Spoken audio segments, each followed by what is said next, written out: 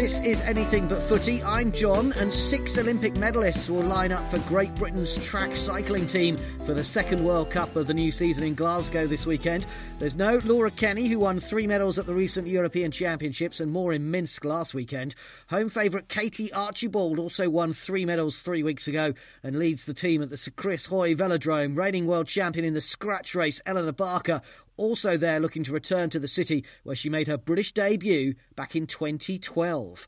Rio and London team sprint gold medalist Phil Hindes also returns to the men's sprint squad alongside Jason Kenny, Jack Carlin, and Ryan Owens, who won team silver in Holland, but no medals in the individual sprint again for Kenny in Minsk. Katy Marchant and Ed Clancy are also in action, and 34 year old Clancy is a three time Olympic gold medalist in the team pursuit and admits they're second best to the Australians at the moment as Britain look to defend their title in Tokyo next summer. He says Britain hasn't beaten the Aussies since Rio when we won the World Championships in 2018. Australia weren't there. And Clancy also says Glasgow will be special as it could be the last time he rides in front of a home crowd in a British kit.